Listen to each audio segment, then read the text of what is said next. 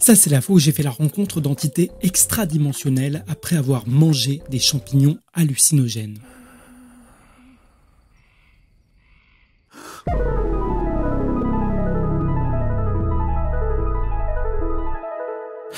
En gros, tout a commencé après avoir découvert Terence McKenna, le fameux philosophe, l'ethnobotaniste, le barde, qui a beaucoup parlé dans les années 80 d'un usage intelligent et raisonné des psychédéliques.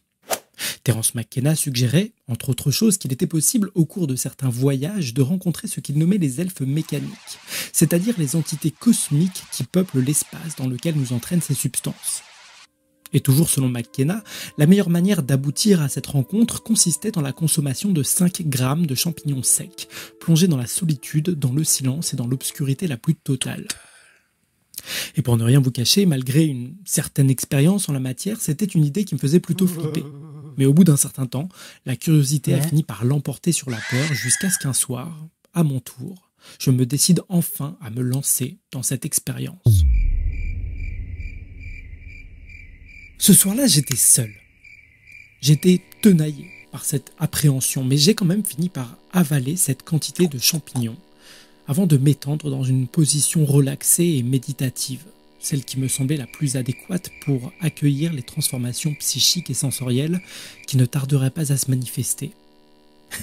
Et les amis, en matière de transformation psychique et sensorielle, le moins qu'on puisse dire, c'est que j'ai pas été déçu les choses ont commencé par une profonde détente, une sensation intense de calme et de sérénité qui semblait paver un chemin vers une zone de moi-même inaccessible en temps normal. Un jardin secret dans lequel je m'étendais et que je contemplais avec une langueur extatique jusqu'à ce que soudainement un son vienne me tirer de ma rêverie. Une sorte de unique d'abord et qui s'est ensuite démultiplié comme des se faisant de plus en plus nombreux et de plus en plus intenses à tel point qu'à un moment il m'a fallu ouvrir les yeux afin de constater s'il s'agissait ici d'une hallucination auditive ou bien d'une véritable nuisance extérieure.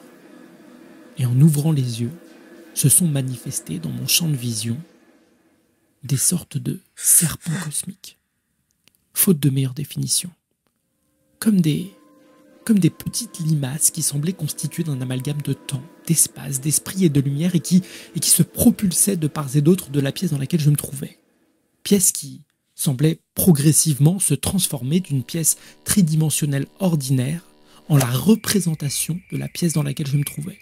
Comme si celle-ci était devenue une toile, une illustration qui se voyait comme, déchirée, lacérée, disloquée par le passage et le repassage de ces serpents cosmiques révélant ce qu'il se cachait derrière cette illusion.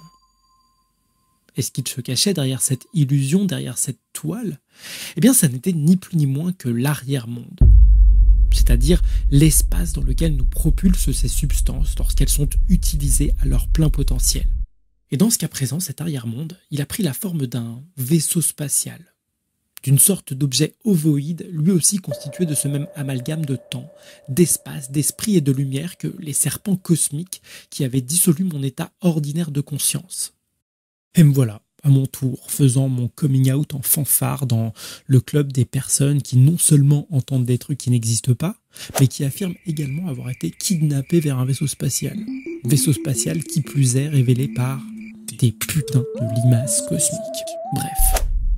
J'étais seul dans ce vaisseau, à contempler cet espace quand celui-ci s'est mis à vrombir alors qu'un son colossal commençait à se faire percevoir. Quelque chose de similaire à celui des limaces cosmiques, mais en beaucoup, beaucoup plus imposant, comme semblant provenir des tréfonds des abysses et qui a annoncé l'apparition d'une entité. Comme celle dont Terence McKenna avait parlé, mais pas exactement comme je l'avais imaginé. Et cette entité, elle constate ma présence dans son habitat. Et moi, bah, j'ai rien trouvé de mieux à faire que de lui rendre son attention pour constater qu'elle avait l'air comme. qu'elle avait l'air comme emmerdée par ma présence. Ma présence en ces lieux, dans cette dimension, elle semblait suggérer l'existence d'un dysfonctionnement, d'un bug dans le grand œuvre que cette entité cherchait à accomplir. Alors je la regarde, Et elle me regarde et je la regarde et elle me regarde et je me dis qu'à un moment donné, il va quand même falloir briser la glace, quoi, parce qu'il y a comme une sorte de, de malaise cosmique qui semble s'être installé entre cette chose et moi-même. Et tout semble indiquer que c'est de ma faute. Alors je me lance et j'entreprends de lui communiquer la raison de ma présence dans ces lieux. C'est très simple. J'ai regardé des vidéos de Terence McKenna, j'ai suivi son exemple en avalant 5 grammes de champignons secs, plongé dans la solitude, dans le silence et dans l'obscurité la plus totale, et, et me voici, quoi. Désolé. Mais genre, euh, vraiment désolé, quoi. D'autant plus qu'une partie de moi craint véritablement d'avoir provoqué le courroux de cette entité, qui me semble être le truc le plus proche d'un dieu avec lequel j'ai jamais interagi. Et fort heureusement, je m'aperçois qu'en tout point supérieur à ma personne, cette entité, elle se montre également supérieurement bienveillante à mon égard. Et c'est là qu'elle s'adresse à moi.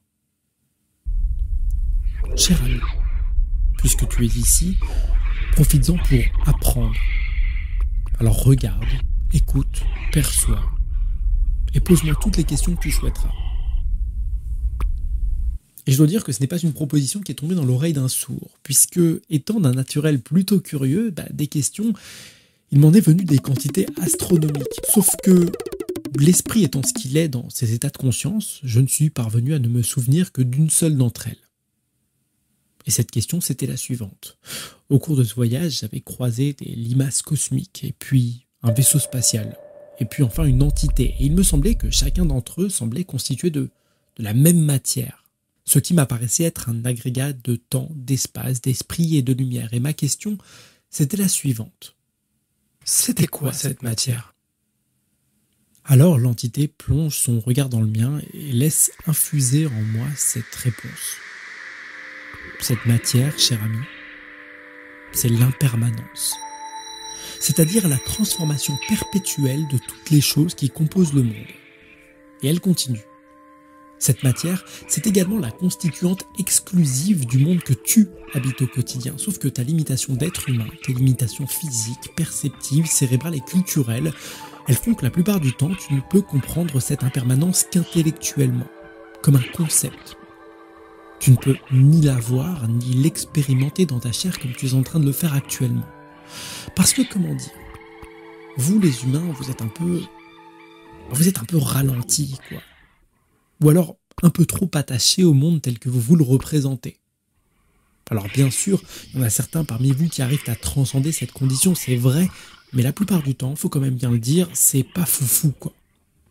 Parce que la grande majorité d'entre vous reste tellement calcifiée dans une certaine perception du monde qu'en général, ça n'est qu'au bout d'une certaine partie de votre vie que vous vous apercevez que votre société, que votre psychologie, que votre aspect physique ne sont plus du tout ce qu'ils avaient été auparavant.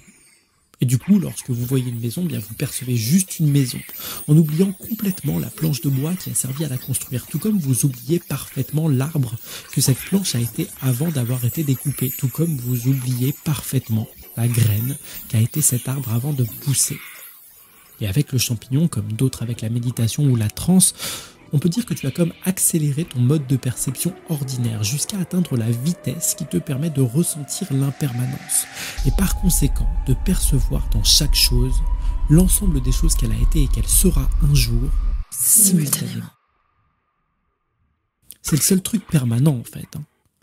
l'impermanence. Et alors que cette entité cosmique et moi-même sommes en train de digresser autour de l'impermanence, je commence justement à sentir en moi les effets des champignons se dissiper. Je réalise que bientôt je vais retourner à mon état de conscience ordinaire dans lequel mon nouvel ami sera désormais invisible, voire même inexistant puisque je n'aurai ni la preuve, ni même peut-être le souvenir de l'avoir jamais rencontré. Et cette idée ne manque pas de provoquer en moi un profond sentiment de mélancolie. Mais t'inquiète pas, me dit l'entité. Maintenant que l'on s'est rencontrés, maintenant que l'on s'est reconnus, eh bien toi et moi on restera en lien. Et un jour, que ce soit à la faveur d'un rêve, à la faveur d'un trip ou à la faveur de ta mort, eh bien on se retrouvera. Et on échangera à nouveau.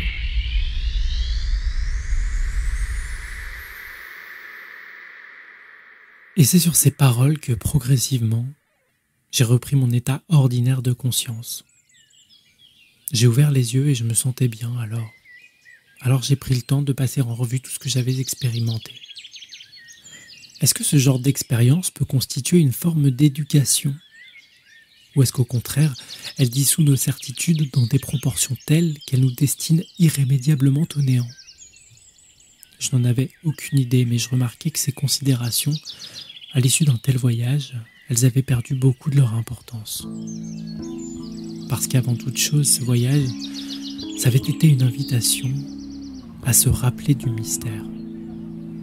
Celui qui se tient aux portes du règne humain, au-delà de ses structures, au-delà de ses certitudes, au-delà de ces conditions face auxquelles il nous faut chaque jour renégocier notre place.